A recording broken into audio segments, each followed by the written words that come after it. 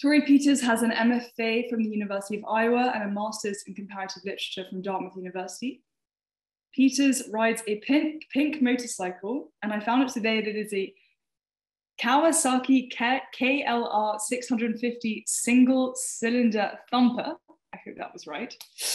And uh, Peters splits her time between Brooklyn and an off grid cabin in Vermont. She is the author of novellas Infect Your Friends and Loved Ones and The Masker.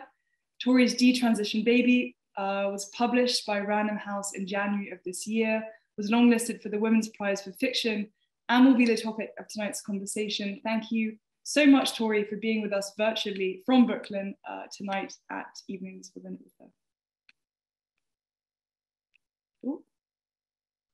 Thank you so much for having me. Um, that motorcycle sadly was stolen, so I have a new pink motorcycle. But you know, uh, that's the hazards of having a motorcycle in Brooklyn. You just kind of lose them every couple of years. but is it, were, is, it, is it a Kawasaki KLR 650? It wasn't, but you said that very with like a, a lot of authority. So. with no authority. Yeah. I, I, don't even have a driver's license, so let alone a, a cycling license.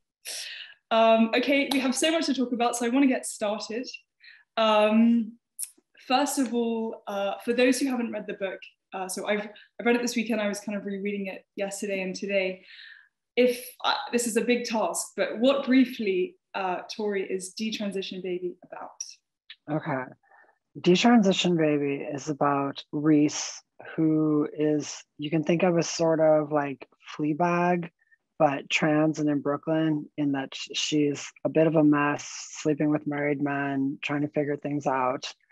And the action kicks off when her ex, Ames, who used to be a trans woman named Amy, but detransitioned, gets his boss, Katrina, pregnant, and then approaches Reese to see if they want to, if she wants to raise the baby um, with together in, in a sort of unconventional family, a triad. And that's actually only like the first chapter. And then the book is the, you know, how does it go from there is sort of what, what, what the book is about. Um, yeah, that's my, that's my elevator pitch. That is, yeah, I, I, that's a great one. Um, how did you come up with this topic? This specific uh, combination of characters and, and plot? Well, I was um, I was in my mid, I was in my mid 30s and and living in Brooklyn, very similar situation to to Reese, and um, I was kind kind of trying to figure out like, okay, I'm on the far side of transition. Um, you know, I'm I'm looking at the rest of my life, and and the real question for me was like, how do I live? What what what do I do to?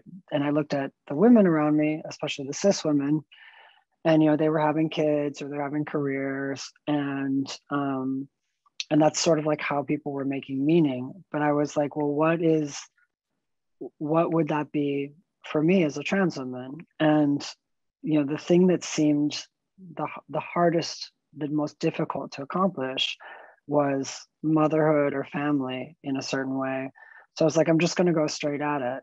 And then um one of the things that I think is is is very very difficult is the question of where does where does a if you if you decide that you want to do like a sort of domestic novel about family and about raising children and about relationships, the question for trans women is where do we fit in that novel and where does the baby come from? And so um, I kind of was just like this. I need a situation that does that work, but that has a very um, recognizable kind of conflict um, where if if one person gets what they want, the other person doesn't in a sort of classic um, protagonist antagonist sort of mode where there's a baby and one person wants to be the mother or the other person wants to be the mother. You know, it goes back to King Solomon that particular uh, problem. So once I was like, I can give that problem to a trans woman, and then I can see how that looks in sort of in this century, in this moment uh, for domestic fiction. Mm. Yeah. So um, you described, I guess, the kind of the novel of motherhood, the novel of the family. And it seems to me that kind of throughout my research, uh, reading interviews that you've given and, and reviews of the book, there was this kind of tension between this is hailed as kind of a trans novel, uh, a new entry to the trans, can, ca trans canon on the one hand, uh, and then on the other kind of, as you described, like a family novel, a novel about motherhood, a comedy of manners, a novel of bourgeois realism. Um, another way of putting it, and I think you described this quite nicely, is some people might think of this going into it that this is a novel you're going to be reading for education about the trans experience. And actually, um, you have argued uh, against approaching literature as a kind of homework, um, as a yeah. kind of educational experience. Can you talk a little bit about that? Yeah, I think what happens is is people read something trans and they think number one that it's new, you know, or that you have to have a whole new form to contain the trans experience and and number two that the reason that they're reading it is to sort of educate themselves and i think that um, that's not a particularly productive way of approaching literature. You know i, I think that that um, why people read literature isn't so you walk away you know, walk away and say well I, I learned a few things. You you read literature because you want to sort of experience what these characters have experienced. You want a sort of enrichment of of your own life and the way that empathy sort of bounces back. Like there's something kind of, I, I don't mean to sound mystical, but I, I really believe in like the sort of ways that fiction can be expanding in many directions beyond just sort of like, now I know the proper etiquette for addressing a trans person. Like you could get that in a sentence. And I, you know, I think about this in terms of books that are sort of anti-racist reading lists too. You have, you know, uh, sort of, well, read Toni Morrison for this sort of shallow uh, way of doing this. And I think that does a disservice to, to someone like Toni Morrison. But um, so that that's sort of my my thing about education. But one thing I, I really feel strongly about is that actually the trans experience fits in with already existing genres. Like you don't actually have to invent a new genre to talk about a trans woman's experience. That trans women um, you know the books that i grew up reading were were women's books a lot of them or they were you know domestic fiction. I'm, I'm american so you know john updike or all those people writing about family that was my tradition. And so it was like well there's no reason why i can't actually make a trans iteration in a in a pre-existing genre. So instead of saying oh this is a brand new thing or it's trans on the one hand or it's domestic fiction on the other hand i say that there's a tradition of you know a certain type of women's literature um, writing about sort of domestic family arrangements and that instead of saying i'm going to invent something new i'm going to say well i'm going to put a trans iteration on this experience. The same way that that entire history and lineage is a series of iterations of people with their particular concerns iterating uh, the, the stories as they want. So so for me um, I was like, I'll do a trans iteration. And in fact, we don't have to sort of reinvent the wheel here. That this is this ha- this resonates with the existing themes uh, of that tradition, and um, and it's and it becomes a not either or in terms of readership. I don't think it has to be like you're either trans and you know the trans codes to read this book, or you're you know looking for a jane austen novel like it can do it can do multiple things at once when you position trans work in as iterations of these of these traditions mm-hmm. you mentioned toni morrison and then you mentioned just now trans codes and you've been very explicit about this story that your approach uh, for this novel has been writing for trans women and you actually said that you looked to morrison who herself said that she writes or wrote explicitly for other Black women, and that I think this is a quote everyone else can keep up. And yeah. you had said previously that this was not the case for trans writing, and previously something like this again, this is kind of these are your words, but 70% of the story was about story, and then 30% was slowing down to kind of accommodate, let's say, a lay audience. And right. you had said, you know what, F it. Uh-huh. I'm going to write for trans women. And then you described writing a flat out run at full speed. And you said that it made you a better writer. Can you talk about yeah. that? So, what happened is I started writing and um, and and especially because I think the emphasis for trans writing was a sort of edu- educational type of writing, where you were sort of told like, oh, you should explain the trans experience to the reader, and you know you should explain the language. You could, should explain all these these different things. And so you had these books that that did exactly as you say, where you had a story but but the story was constantly stuttering to be like oh here's what this word means. Oh here's what this concept is. Oh here's this. And and other writers from other um, backgrounds don't break up their story every every 30 pages to be like here's a little bit that you know. They assume that their readers are smart that their readers you know in this day and age have access to google. And if you want to you know if you want to read a story you build the momentum of the story and you go so I, I began to sort of assume assume first of all that readers are smart. And then secondly that the vibe that you get when you're writing for other people who get it like uh, other people who are going to get it all the time means that it is a way of thinking where you're not slowing down and that it challenges you. So for instance if i was to write um, if i write about hormones and i'm envisioning a trans readership um, I and I just if I just say like here's a here's a thing about hormones that most people who aren't on hormones think is interesting, uh, those trans, uh, all those other trans people will will kind of yawn at me. They'll be like, yeah, I do hormones every week. You're telling me something boring, which means that that actually raises the bar for me as a writer. That if I'm envisioning a trans readership and I'm like, they're going to be bored with the basic level of insight. So I have to bring some insight that other trans people themselves wouldn't have, not the general public, but trans people themselves. It forces me to be a much better writer. It forces me to dig deeper into like the trans conversations to say something new to trans people.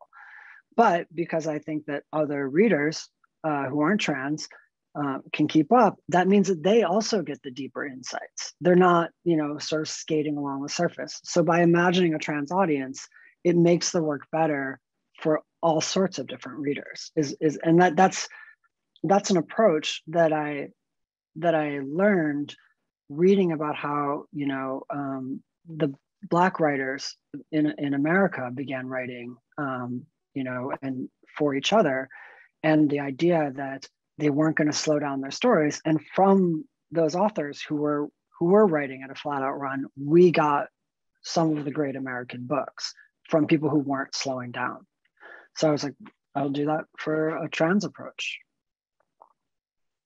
Yeah, I uh, have many things to say, but I just wanted to kind yeah. of go back to the genesis of this book because it seems to me you've been you've been writing at kind of flat out pace for a while, but it's only recently that you that there's been space maybe in the kind of market for for this novel. So you um, the kind of novellas that I described in the introduction, they were self-published because at the time there was kind of discussion that maybe the publishing industry doesn't serve um, trans women. What's changed no. now? What's the response been like from kind of you know the general public, and what's the response been like from the trans community itself?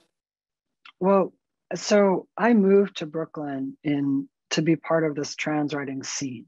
There was um, in around 2012, 2013, there was a series of, of mostly trans women from around the country and including Canada who all moved to Brooklyn. And they literally were writing for each other in the way that like the trans women audience, they, they, they're like, we're going to write these stories for each other. And when they gave them to the, to the publishers, the publishers were like, wait, I'm not sure that the audiences can keep up. Like we do actually want these um, stories that are a bit slower, that explain everything. And so um, and I, I arrived on that scene and we were sort of like, well, we don't actually want to slow down and we care about each other's work, so we're going to write for each other. And what happened is that that approach that we developed seven, eight years ago, I think the world ended up catching up with us. That we were, that what happened is you had um, a, a, bunch of different media that were, uh, you know, things like transparent things like uh, Orange is the New Black, uh, even Pose, Condé Nast, you know, the biggest magazine publisher, uh, opened up a queer vertical. And when those people were like, well, what does trans storytelling mean? How do you tell a trans story? Where the new trans stories coming from? this scene in Brooklyn that I was part of became, uh, you know, people pointed it out. So there was a way in which um, what ended up happening, I think, is that um, interest and and the world kind of caught up with us. Uh, so it wasn't that that much that we changed. It was that uh, it was that we've been doing the same thing for eight nine years, but suddenly there was an opportunity in the market for what we've been doing. I will say that's and that's especially true for for many of the other women we're publishing. I will say that I did change a little bit in in my approach with this book, which is that the two novellas that you mentioned are really uncompromising. They were early on for me, and I was like, I'm going to write for a trans audience, and I'm just going to jump in the deep end. And what ended up happening is that I think my idea of writing in a sort of like identity bounded space, like trans as an identity, what I discovered is that like that identity is huge. And there's all sorts of people who are trans. You know, we're not monolithic. There are a lot of trans people who disagree with me, who disagree with my approach, disagree with the things that I write, don't particularly like my work. Uh, and that's fine. You know, not all trans people have to agree. Um, but what I just, so having published these two, self-published these two books, they became sort of cult novellas. And I had all these conversations with other trans women. And in, and when I started Detransition Baby, I began to think less in terms of a sort of identity bounded uh, kind of writing, or an identity bounded uh, audience and more an affinity uh, bounded audience where I'm like, there's a bunch of trans women that I have affinity with. I'm going to write for these trans women that I have affinity with. And then as I was reading lots of books, largely by cis women, by cis divorced women, I began to feel that, oh, I have an affinity with, with lots of cis women too. And so I can kind of pick my readership as a sort of Venn diagram of uh, of the trans women with whom I have affinity and the cis women with whom I have affinity. And I I broadly named the cis women with whom I have affinity um, divorced cis women, and it's because I was reading Elena Ferrante, I was reading Rachel Cusk, I was reading these different writers who are writing a lot about divorce in their 30s. And I began to see that the narrative of divorce looks a lot like the narrative of transition in that you live your life a certain way, believing certain things, and then there's a moment that's like a break or in some ways a failure. Uh, that's divorce or transition, and your life suddenly looks different, and you have to start over without getting bitter and without reinvesting in the illusions that brought you to that failure in the first place. And so the questions that I found in Ferrante, or the questions I found in Cusk, had this incredible resonance with the questions that trans women were asking themselves. And so I began to think less in sort of like, okay, I'm going to write specifically for trans women, so much as I'm going to write for the experience of largely women who've had this kind of break and who've had to start over in a certain way. And that there's there's an affinity there that I can kind of find and I can kind of cobble together a readership in this in this way that isn't captured by a lot of demographics, um, especially not necessarily identity no. demographics. Yeah. Um, and that that kind of became my my my guiding way of seeing things. And I think still, you know, to talk about an affinity based readership, that sounds like nonsense if I'm doing just you know uh, sound bites and publicity, but it actually is closer to how I think about my readership as opposed to purely trans women. There are imp- important thinkers and important people in my life who are not trans and who have who who but whose work and thoughts are as vital to me as those trans women um, and i think that that you know especially as i as i as there are more and more trans stories and those trans stories are more and more discordant I'm not going to speak to all trans people. I'm going to speak to a slice of them that I think continues on into other groups of people as well.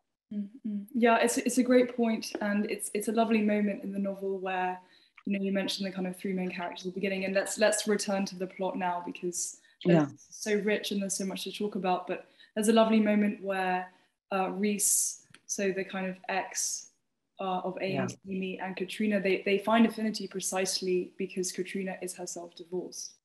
Yeah. Mm. And I, to me, it, it's not just only divorce that Reese and Katrina find.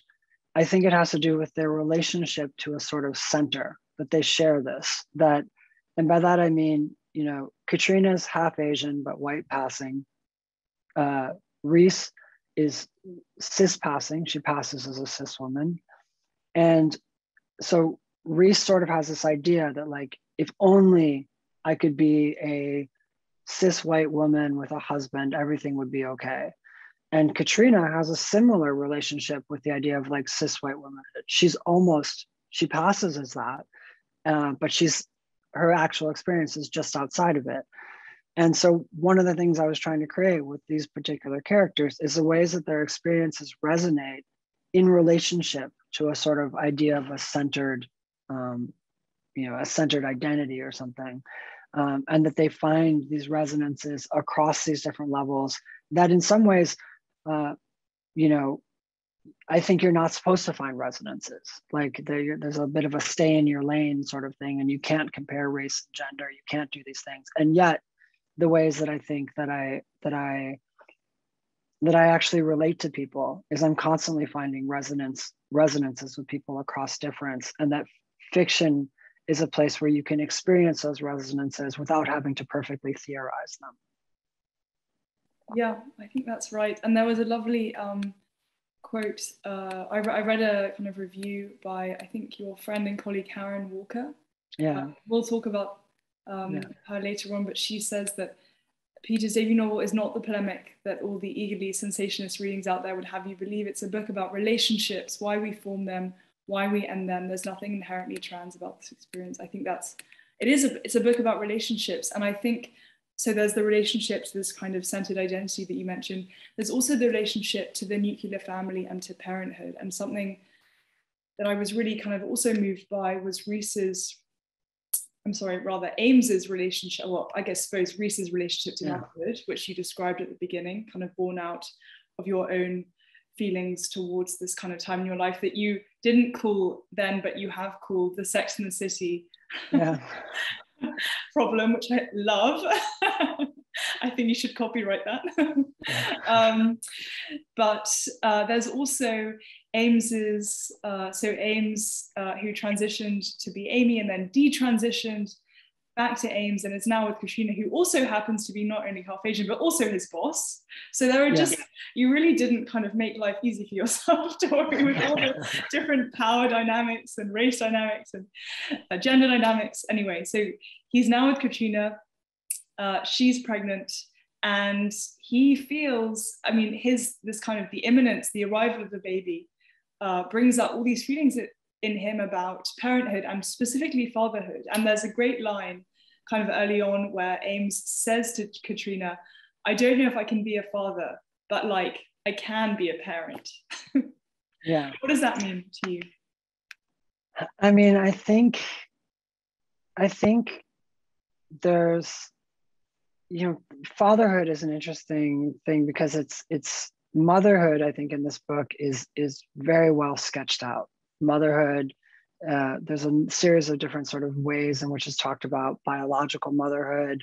Um, there's a, a, culture of trans motherhood amongst trans women where you know younger just out trans women will go to older trans women to learn how to live. That kind of motherhood is sketched out. And then um, you know there's sort of just like maternal relationships and hierarchies throughout the book. Fatherhood's a little bit different because um, fatherhood, I think, in this is, is a negative experience in the way it's portrayed, not in life itself, but that Ames experiences fatherhood as a sort of gender role, like that that that one of the things that the book talks about, and I think this is a trans idea, is divorcing um, gender roles from sort of male and female that there's that that that you know um, that we do gender and we do various genders. And you know so in, in a very simple way um, you know there's many different ways to be a man. You can be and and a, a, sort of generic one might be like, oh, you're a you're a woodsman, right? And that like being a woodsman is a gender, that, and that that gender of woodsman is very different than like white collar office worker or something, yeah. and that that actually our world is is full of these various genders, you know. And what happens, I think, for Ames is that parent in that, and he and I think Ames is dis- dissociated, so he has a hard time talking about it, but that parent is a function, you know, and that father in some ways is a gender for Ames. The father is the one who has the baseball mitt and who tells you, you know, good job, son, get out there or something like that. And what Ames is is reacting to is the expectations that adhere to a gender role rather than to a function. Ames is also unable to sort of articulate this because I think we don't have good ways of articulating the difference between father as a gender role and father as a function that we just have the word father. And um and and now you know five years after i wrote this book i can say there's a big difference between a gender role father father as a as a gender role the one with the baseball mitt and father as the person who has a sort of function raising a child.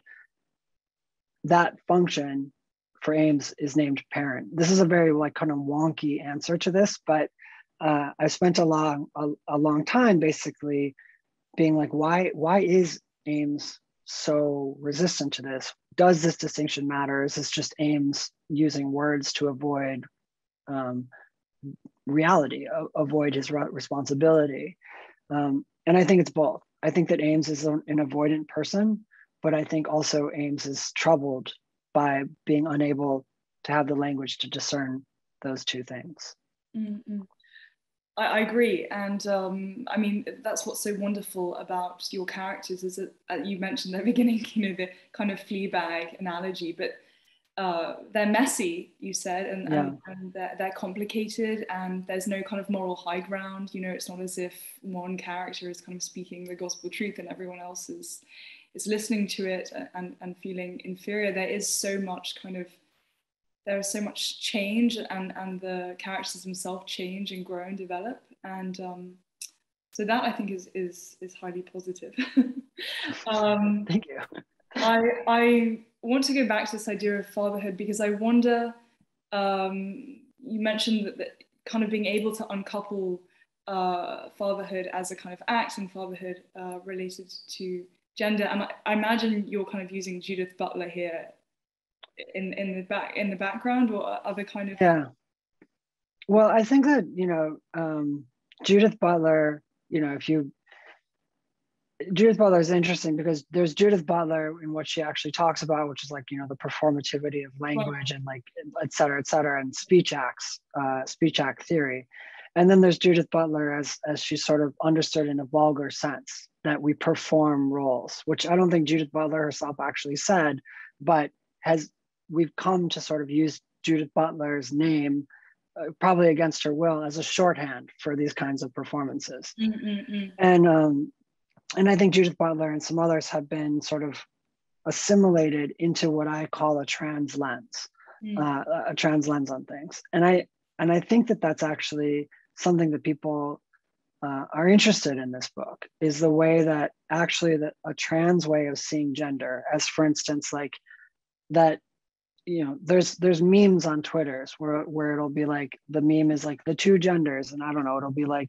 a plant and a book or something like that. And and the joke being that there's there's not two genders there's many different genders that are all interacting with each other this way. And that this is a sort of trans insight that you transition okay and you've transitioned genders but now you actually have to be a gender within your genders or, or you have to combine genders to find these gender roles that that work for you And, you know broadly uh, you know, queers have been doing this for a long time. They've been using words like high femme or low femme or hard femme or like, you know, these are all names of different ways of being one's gender. Uh, and you can, so when I say woodsman or like a lumberjack or something like that, you know, that's be that's doing a gender. I always talk about on Tinder profiles that men have pictures of fish in their Tinder profiles, and it's like that's you're doing a gender you know like if you have a picture where you're on a dating site and you're holding a fish what you're saying is like look i'm a provider. I will i'll slap some food on the table for you. That's the kind of gender i'm doing. And you know the trans lens names that that's you're doing a gender in your tinder profile and and it unpacks the kind of the work of what you're saying because literally nobody wants you to show up on the first day with a fish. That's that's not a good way of advertising yourself uh, as a, as a potential date. But you are saying something you're doing a gender and and that idea of trans lens helps to see the various ways you can do gender. And i think that a lot of cis people straight people um, you know they are beginning to see that the trans way of, of, of using language is not unique to only the trans circumstance. It's that trans people have had to develop this language to name what we're doing. And this language is quite useful for every, all of us, because we all have genders. We all are doing genders all the time. And, um, and if you just say that your gender is a man, well, you're missing a lot of the nuances and you're missing a lot of ways of ana- analyzing yourself. And, and this is also true, I think, in fatherhood, you know, which is a very loaded type of, of, of gender performance where you say, well, this is what it means to be a father. Well, no, th- that's a father in that way is often doing a gender and you can unpack it and see that maybe this piece is necessary, this piece isn't necessary. And, you know, I'm a big fan of, of of the kinds of different genders that men have. I think that men are quite interesting and fascinating in the ways that they perform genders. I just think that there's a language for describing them that is oftentimes antithetical to the performance of those genders. Mm, yeah. Or, or rejected by the by those genders, let me just say. Right, right. Yeah. And I think um I think this idea of language is really interesting and kind of looking to a trans language to understand how we might better understand our own yeah. kind of, you know, um, central society or nuclear family, the breakdown of nuclear family, you know, um, it's coming. yeah. Um, imminence of, of that. Um, I wonder uh, if you could speak a little bit um, about, I suppose, more kind of about, we had mentioned fatherhood and then also you had mentioned motherhood, that there is motherhood to be found within the kind of uh, trans female community. And that was another kind of piece of the novel that I think, I imagine maybe was born out of kind of writing uh, to a trans audience. And that was, was very, very moving and also highlights all of the different ways that one can be a mother, one can be a father. And to add on to that, Torrey, I wonder, when do you find yourself kind of performing different genders now? I mean, I imagine you're more sensitive to it, but how does it show up? Yeah. I mean, it's, it is funny. Um, it's funny what you say about you know the dissolution of nuclear family and stuff because i think it's on one hand it's true but on the other hand there's a way in which this sort of sensitivity sensitivity of language preserves it because you instead of it being a default it can be intentional and you can say this is how i want my family to look. This is how and i think that that's actually something that you're finding i mean in in trans community. So i know a number of of trans people um, who are especially trans women who date trans men.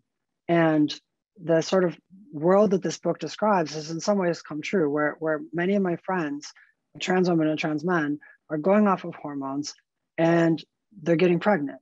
And so the trans man is the one who carries the child.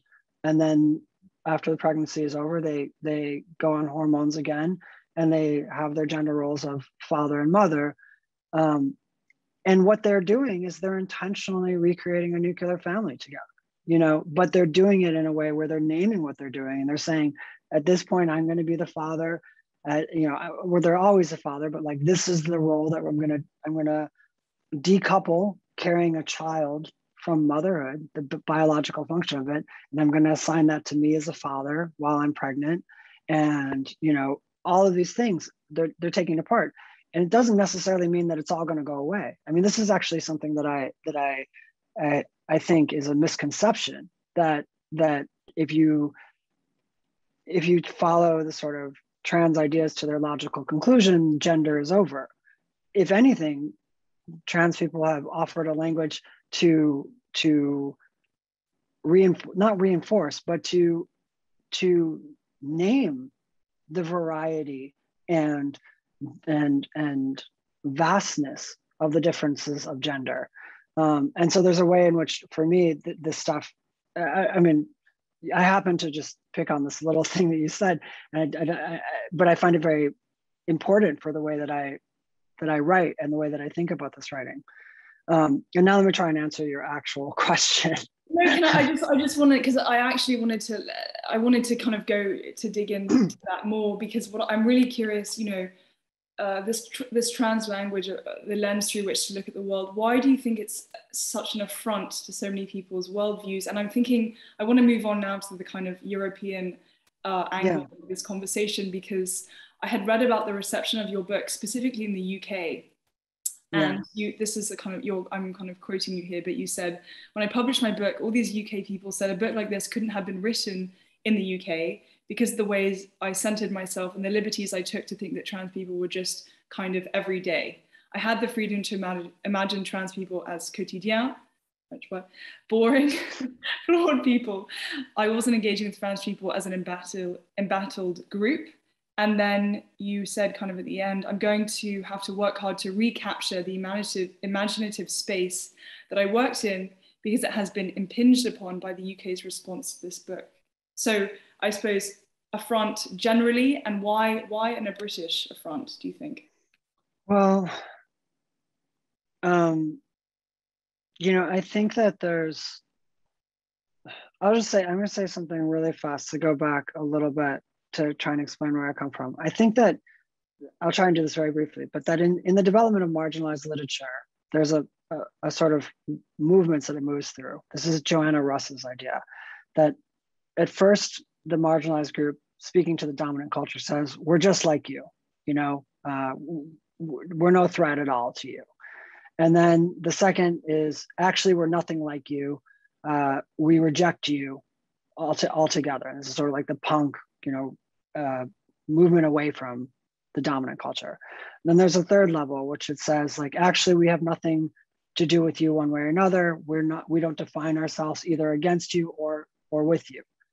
But then I think there's a fourth level. And this is not Joanna Russ. This is my my formulation. This is me.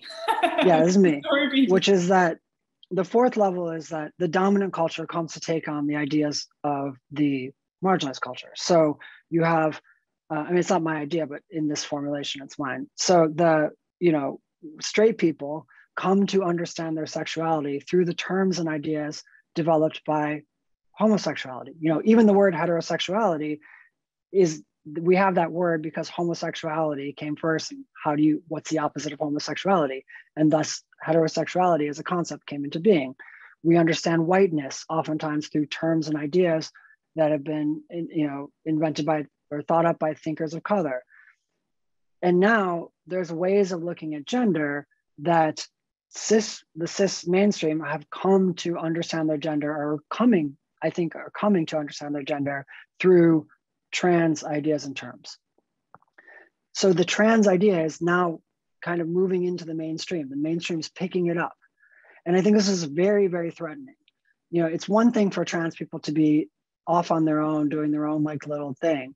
It's another for suddenly cis people to have to reassess their own uh, ways of thinking. I mean, you have this in the United States with, with race, where where where critical race theory is very very threatening to a lot of people because suddenly white people have to understand their own whiteness through through through these other terms that aren't the terms they're used to thinking of. So there is a kind of way in which trans ideas have now become uh, a way that a lot of people think of their own gender. And in the UK, uh, as I as I, I've not been there, so this is me just completely talking about it as I experienced it over the internet. Um, you know, there's there's a kind of two modes. There's there's the actual ideas of, of oftentimes feminists, where all of these philosophical ideas about what it means to be a woman, how one is a woman and how one defends the position of being a woman by the left, by feminists, they feel that those gains are slipping away uh, due to due to this new these new ideas in which the category of woman has a sort of fuzziness at the edges. That's very threatening to uh, feminist thinkers. And so you have a fear on the left of trans people, and then you have fear stoked on the right from uh, you know people who think that trans women are going to run into bathrooms or whatever that you know that happens to be and those two things are sort of sort of merging into a moral panic. Uh, and and when i when i experience what happens the response in the uk what i experienced was a kind of this it's like this i recognize this from history as this is a moral panic.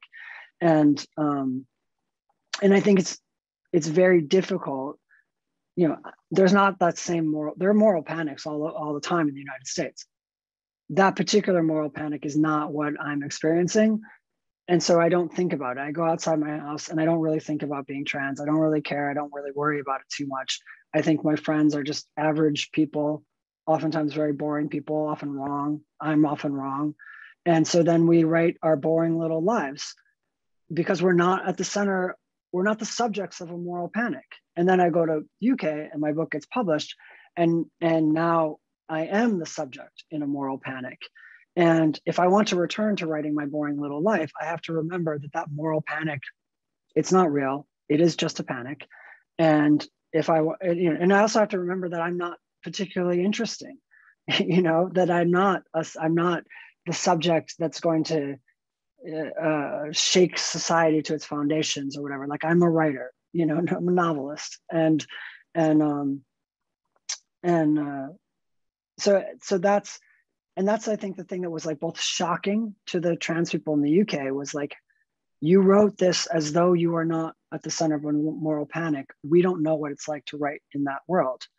And also it opened it up so that now i think that the the uk writers i'm reading uk writers who are rejecting the moral panic and are writing as you know quotidian people as quotidian uh, uh, the quotidian people that they are. Yeah, just briefly, and then we have a great question uh, from Elena in the chat. But can you speak about the intersection, and then we'll also hopefully talk about France. I think we have time. Um, but the intersection of moral panic with with the internet and social media, and why yeah. is this, why is this such a kind of virulent intersection? Do you think?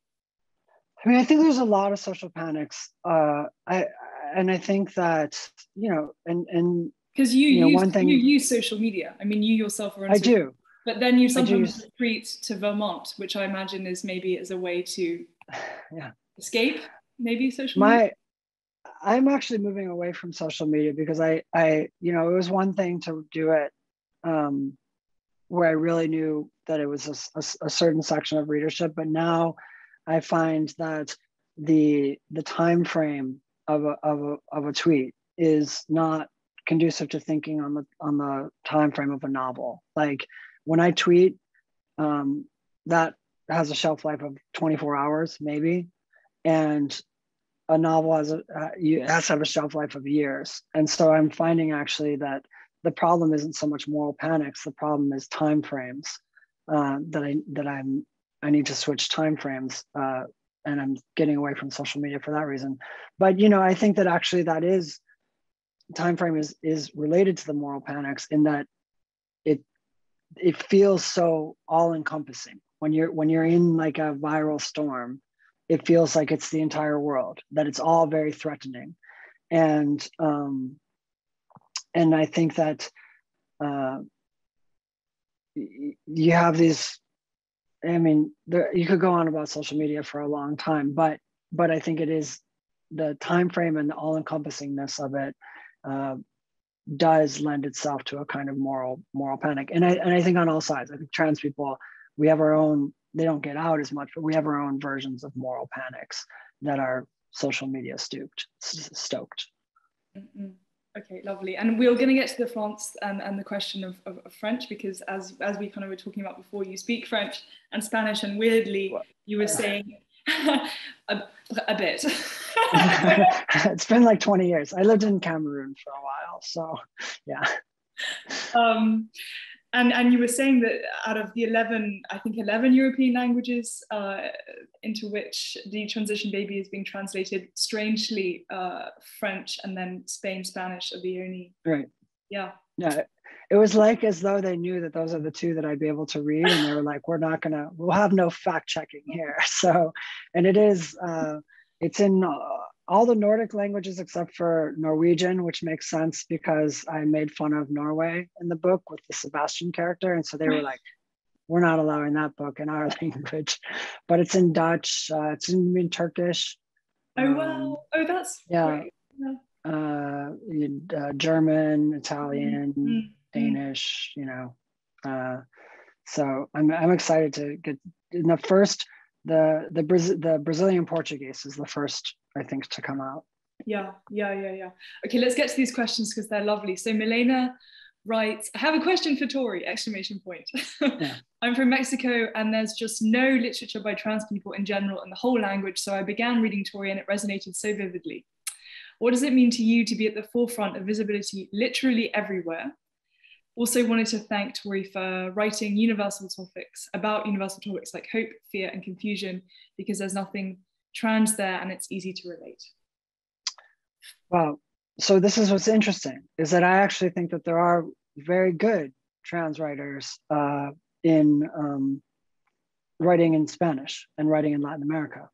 The problem is why aren't those books known? So there's I, am not gonna I don't remember everyone's name offhand, but um, there's a Mexican, there was a, a, a, Mexican woman who was writing in the 90s, and, and her books were translated by uh, Jackie S. and by um, an American trans woman, uh, I'm blanking on her name. And they were given, so when we were in Brooklyn, we got translated copies of these Latin American books. There's an Argentinian trans woman uh, that that was uh, pretty well known, and and so the question is why do why do these books get translated then come to english and then but you can't find them in in uh, in latin america? So i don't think it's that um, that we're on the forefront of these ideas. I think that that latin americans have their own ideas and their own uh, their own histories and and and their own iterations. The trans people are making their own iterations in these Latin American co- countries. I think it has to do with something about the circulation and the distribution of of of who gets their work uh, picked up. You know, I live in New York, and which means that you know I can look out the window and not quite, but almost, you know, maybe if I went to my roof, I could see Penguin Random House's building. Penguin Random House has uh, presses in in all these different countries and all these different languages. So when Pen- Penguin Random House is looking, they reach out their door and they find me. It doesn't necessarily mean that I think my ideas are, are, are further along than in the rest of the world. And I think that, you know, what is needed for me is to find those other ideas and bring them along with me. Like that's my job. Uh, that's my job as as a trans writer is to not be the only voice. And if I am the only voice, there's too much pressure on me. My jokes don't land because they're not targeted. They're speaking on behalf of all these trans people.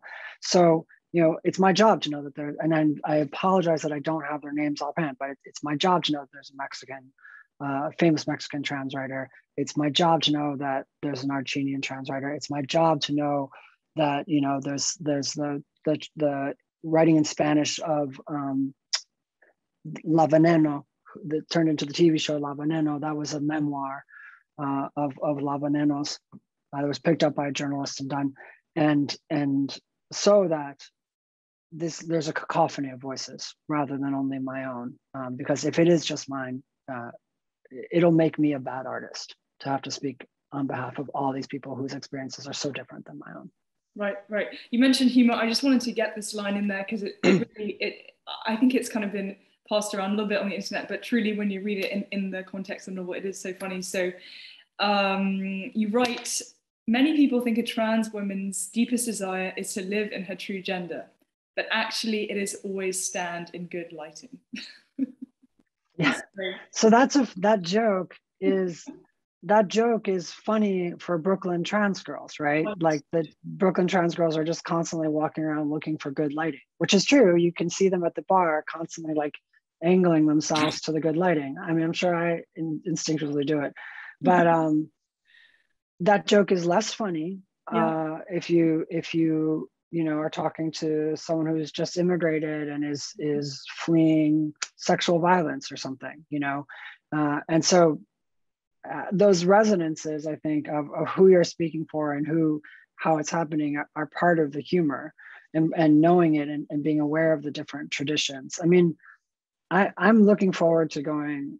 I hope that at some point I get to go on tour in, in, in especially in, in the continent, um, and you know talk to talk to what they talk to different readers and and and maybe bring them on stage with me like what is a dutch what's the experience of a dutch trans woman you know what's the experience of a uh, of a turkish trans woman you know and and and when i first started i'm sorry to say this whole thing the tour that group that we did that i was part of that trans writing scene we would go on tour and we did this thing where we'd stop in every small town and and there were the those of us who had books but then we'd invite on stage all of the trans girls from the local town. So we'd be in Texas or, or you know, Washington State or whatever. And we go to a small town and we say, we're doing a reading. Any trans woman who wants to get on stage with us and have 10 minutes to read your stuff, come on stage.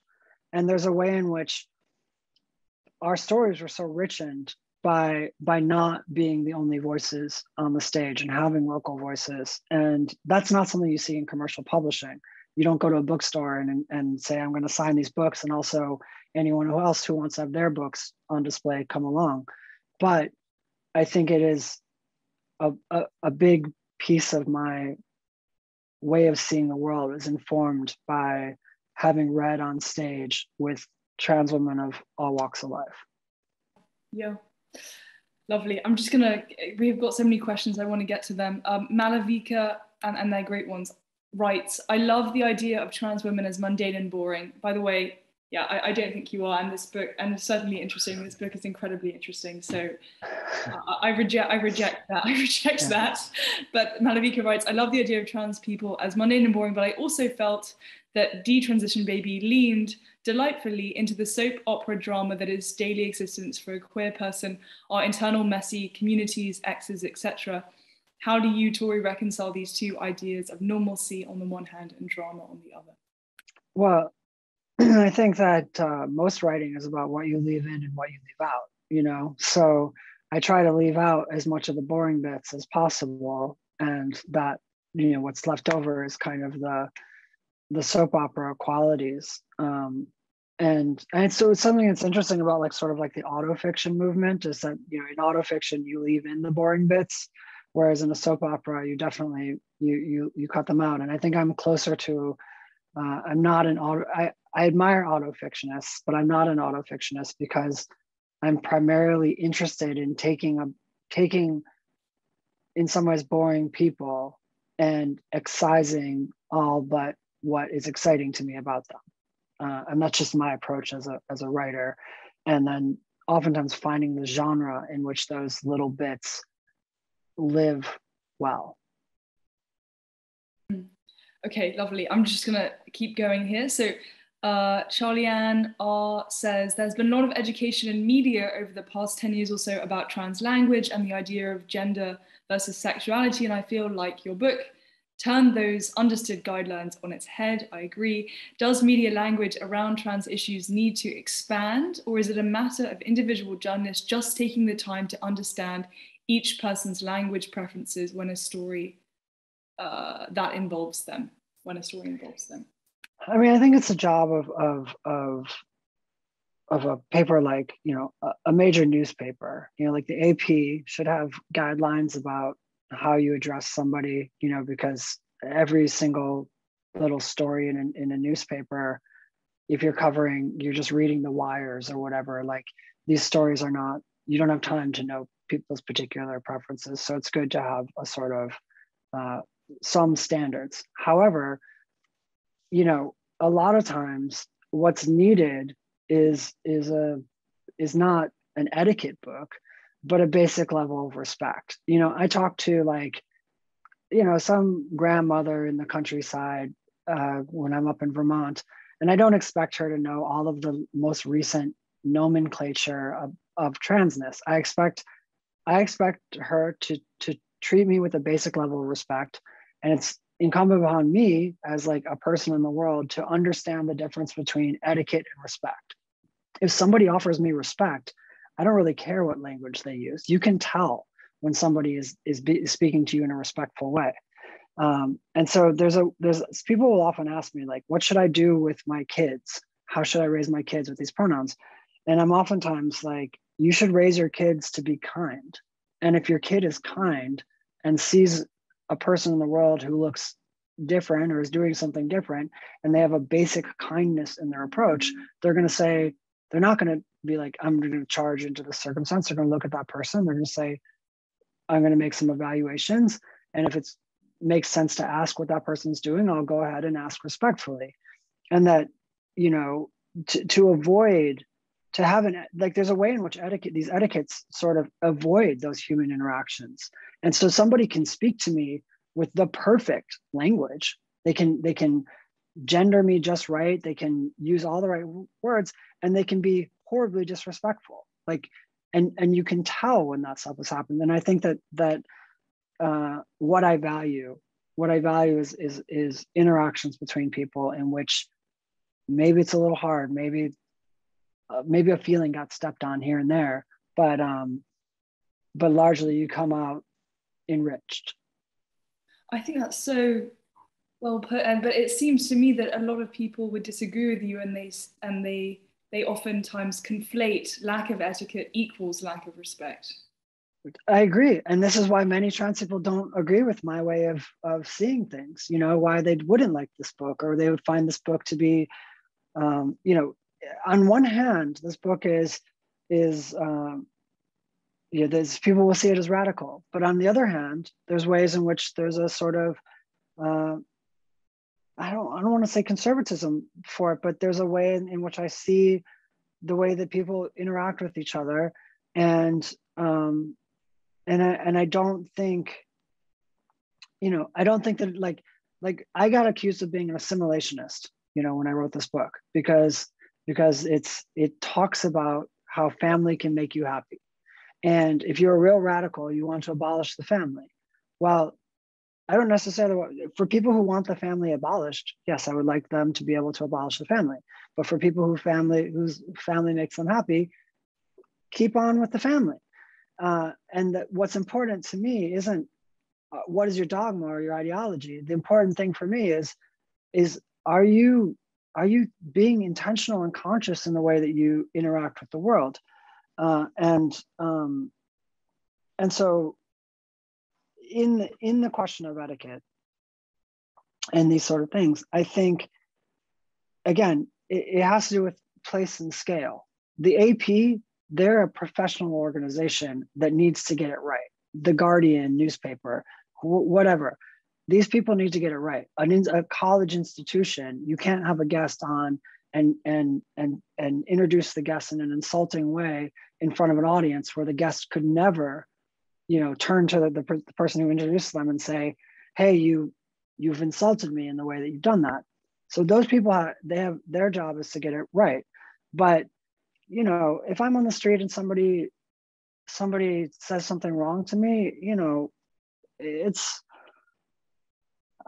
I don't I'm not so I'm not so afraid of the world that I can that I can't turn to them and say, "Hey, this is how I prefer to be addressed."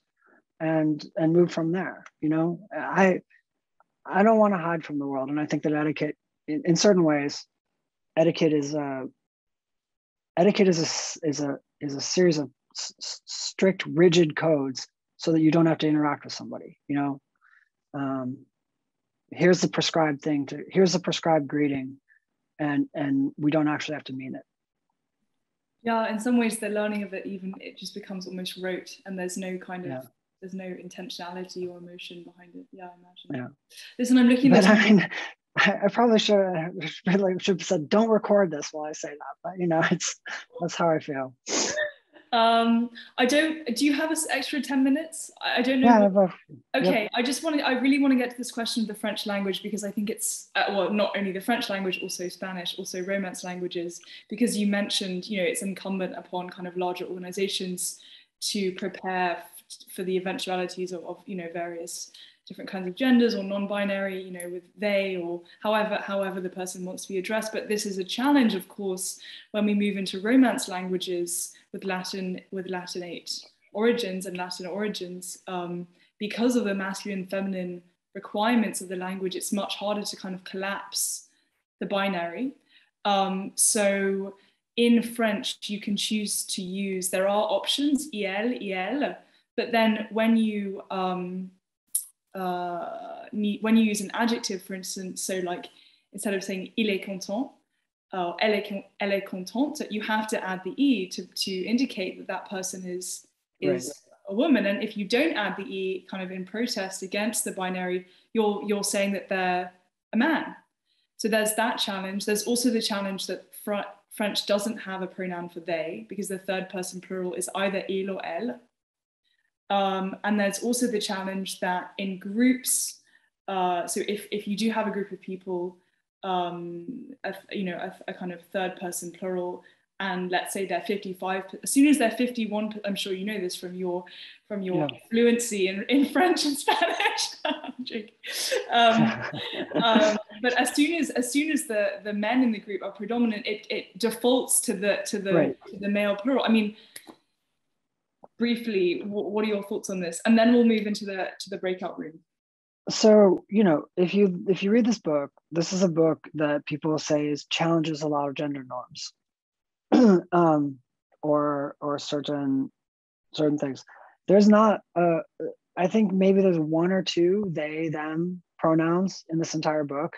So this is a book in which you have a character named you know Ames, whose gender is very con- very confusing very fluid, moves back and forth, and um, is definitely not a sort of like clearly a man or clearly a woman.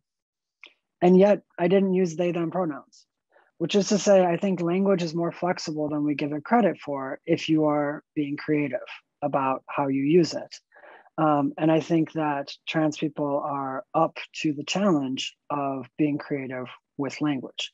Um, and so whether or not you know and i think this this even even with they them pronouns we chose they them pronouns largely because that already exists and was used in the english language. For for hundreds of years people refer to non-gendered uh, pronouns as they. You know you can find it in you can find it in in old english. You can find it in middle english. You can find they them as so what did trans people do? They found something that was already extant. They didn't, there's this idea that trans people invented a new pronoun with they, them in English. They didn't. They, they found, they had a language that we already, we've been using for hundreds of years, and they found the pieces in the language that felt good to them. And I think that, um, and you know, of course, some people, you know, freak out about they, them pronouns and they act like it's a brand new thing, but it's not. Trans people saw a thing that existed, they took it and they used it for themselves. I think that there's something very Anglo-centric about the idea that the only way to uh, speak to the trans experience is to do in French what English speakers have done. I think French people are creative. I think they can do, you know, do all sorts of stuff. I lived in I lived in in uh, Uganda uh, for a year, and in Luganda, there the it's it's a there are 10 noun classes and the 10 noun classes all have to be in agreement. And um, although pronouns are non-gendered um, every single verb adjective and noun that goes with like a man is gendered. And and so there wasn't a way of of redoing the language in this particular way. And so people just actually started choosing other noun classes in, in Luganda. You know, there's noun classes for like uncountable, you know, like water is an uncountable noun class.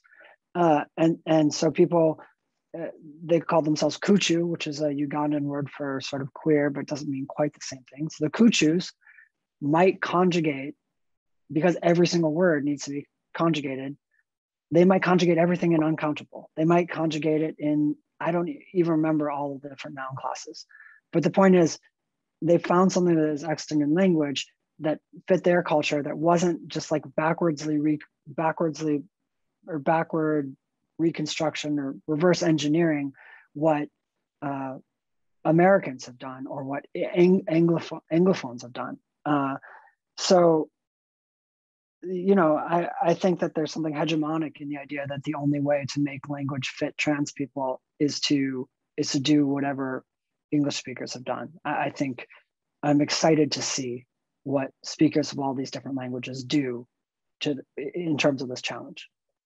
Yeah, yeah, it's it's it's it's a question of creativity and I suppose flexibility. Um, it's really interesting. Uh, so much I can. and some people they may choose to redo the language, and that's totally fine. Like I also have no problem with like Latin. I don't care. Like language is flexible. We mm. don't have like it in French. We don't have that board. What's that French board that says what is okay and not oh, okay? the uh, I think the um, Académie Française. Yeah. Yeah, we don't have that in English, but uh, you know, neither if if people want to if people want to emulate what happens in English, great. But I certainly don't think it's the only way. Mm-mm-mm. And actually, I was, I was kind of reading about this today, but um, there is hope kind of within, within the trans uh, French community that because the Académie Française has allowed in kind of English words like le weekend, for example, or yeah. um, la COVID. um, there is hope that there, you know, that this kind of um, inclusive language will kind of take hold. But I guess what was really striking, and this is the final thing I'll say, and then we really have to wrap up, yeah. is that um, so there is, if you are interested and you're in France, there is um, a kind of uh, documentary, I would say. It's quite short, it's two seasons following the transition story um, of somebody called Océan. Uh, mm. Have you heard about this story? I think so, but go on. Okay, yeah, and so it's it's it's kind of gotten a lot of publicity, but so um, Océan uh, has now transitioned from uh, female to male and and um, is kind of talking to many of the major kind of um, media outlets here. And I saw him on France Inter, which is really like the kind of BBC of France or like Good Morning America kind of. And it was striking to me that the journalist who um, her name's Sonia Devillers, I think. And she, it was the first time she'd heard of the phrase cisgender. And I was thinking that really, I mean, the kind of the, um, not the disconnect, but the, the disconnect in, in, terms of time, you know, the décalage between, uh, I suppose, France and just using this language in America is, is striking. I mean, you would not, I don't think, meet somebody at a kind of major news outlet in America who hadn't heard and used ever the hmm. phrase mm. cis. Yeah, that's true. Yeah. But just just speaking about how this stuff is confused, I forgot what it is. The the root of, of transgender, I think trans is Latin and cis is Greek. So even in the language itself, there's a confusion as to the origin of which uh, what what the etymology is. So the mm. opposite of trans probably shouldn't be a Greek yeah. prefix. Yeah. It should be a Latin prefix if you're doing it perfectly. But but it's my point is that actually who cares? like the idea is the idea is that can you communicate the idea? And yeah. if it's a Greek root that is going to communicate the idea for you with cis, or if it's a trans root that's going to communicate the idea, I mean, sorry, a Latin root, whatever, just do it and and that most of us have the building blocks to to communicate whatever we want and especially once they get standardized and accepted Mm-mm-mm. okay like the, the word cisgender i don't care if they use it in france but the concept matters yeah. to me